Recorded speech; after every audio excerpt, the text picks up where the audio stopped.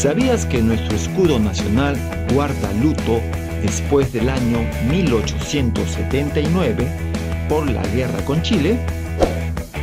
Al escudo patrio lo adornan una rama de palmas y una de laurel frutada con pequeñas bayas de color rojizo. Pero si observas la rama de palma en la moneda acuñada en el año 1864, verás que todas sus hojas están enteras, mientras que en el escudo de la actualidad, las hojas de palma del mismo lado presentan dos hojas quebradas, las cuales representan a Arica y Tarapacá, que fueron desmembradas del suelo patrio.